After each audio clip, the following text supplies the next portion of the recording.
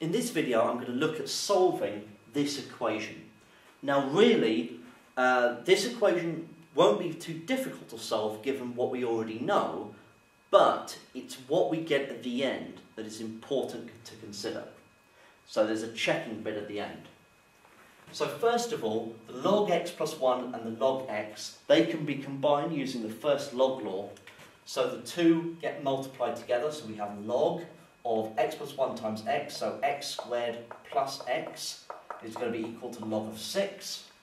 You can then e both sides to get x squared plus x is equal to 6. Okay, so take 6 from both sides and then factorise.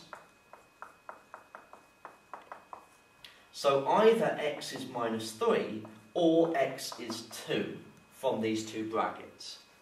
However, there is a problem here because we cannot have x equals minus 3 as a solution because you can't take log of a negative number.